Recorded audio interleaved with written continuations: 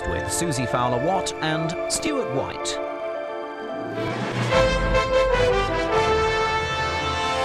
In Look East tonight, crop campaigners dig in, warning of genetic pollution.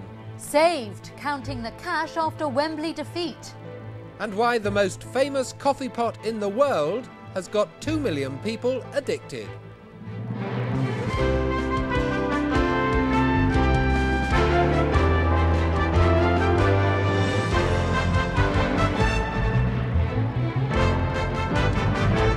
Hello and welcome to Tuesday's Look East. First tonight, campaigners are. It's time to join uh, Susie and Stuart for the rest of the day's news, and I investigate the strange story of the coffee pot, which has been transformed into a celebrity with more than 2 million people visiting Cambridge to have a look.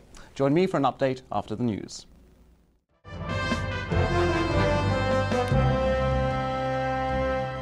You're watching Look East from the BBC. Coming up, crazy about coffee. Log on to view the brew. Now, if you thought watching paint dry was dull, then how about watching a coffee percolator do nothing at all? Every day, a thousand people log on to the internet to find out whether a coffee pot at Cambridge University is full or, well, not so full. More than 2 million people have done it so far, and the numbers are still rising. Alex Dunlop has been surfing the net. Well, I've got my coffee, I've got my keyboard, so let's surf the net. I love coffee, I love tea. I love the jabber jabbing it loves. The computer laboratory at Cambridge University, where the scientists love their coffee. It was so popular that they focused a camera on the percolator so that everyone in the building knew when a fresh brew was on. A year later, they gave it its own internet site, unaware that more than 2 million people would share their addiction. when we did this, it was one of the earliest, if not the earliest, cameras on the web.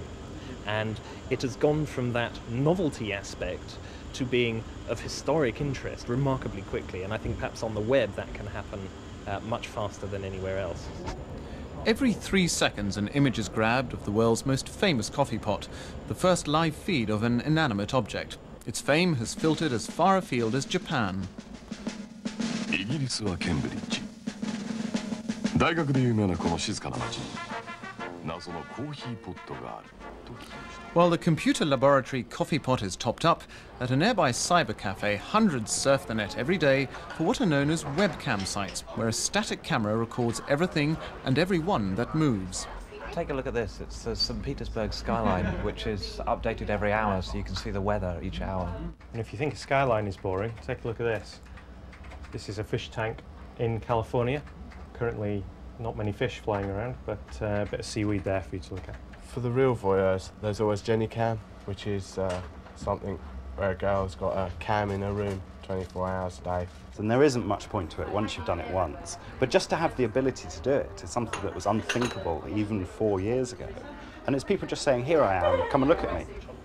But some webcam sites do find a purpose. This blurred shot of a bus stop in Colchester so captivated this American couple that they moved home to start a new life in Essex. Back at Cambridge University, scientists are confident that their humble percolator could prove to be the next Mr. Bean.